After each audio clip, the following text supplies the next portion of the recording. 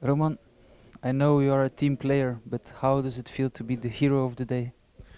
Of course, it's a very good feeling, a fantastic feeling to score two goals in Europe League against Wolfsburg. But I told uh, before in interview I have strange feeling because our game we can play much much better. Uh, special, uh, especially first half, our plan was not working, but uh, uh, we we tried to play, we try to take points. So uh, after this game, one point it's not so bad, and uh, uh, we have to continue like this. And uh, I think against Wolfsburg uh, is very good result.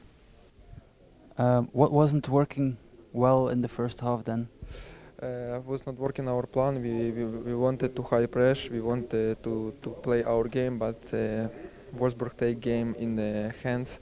Uh, it was not so easy because uh, big uh, big quality from Wolfsburg. So mm, was very difficult. But after second half, uh, after after second goal, I see a lot of players was more re- relaxed because before game we we so much respect uh, Wolfsburg and uh, I saw a lot of players were stressed.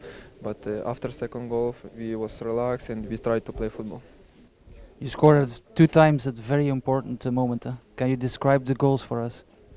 Uh, it's my job. I told many times. Uh, it's nothing special uh, for for me.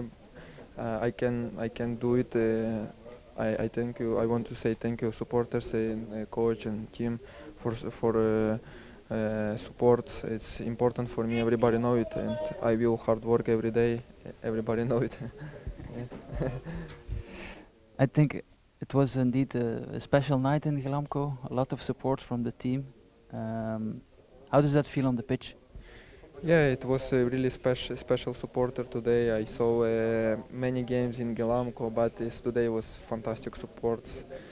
And I want to say thank you. I want to say come to an, another game in Jupiler League, the same atmosphere. We will uh, fight for, for, for you and uh, to take a lot of points.